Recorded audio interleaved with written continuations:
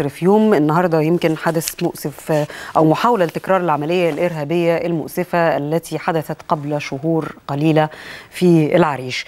بنفس الطريقة محاولة لإدخال فنطاس مية مفخخ محمل بمواد متفجرة إلى معسكر الأمن المركزي في العريش. لكن قوات الأمن تصدت له وأطلقت النار على الارهابي الذي يقود الحافلة واردته لكن الحادث أسفر مع الأسف عن سقوط أحد العمال. وفي نفس الوقت إصابة مجموعة من المجندين.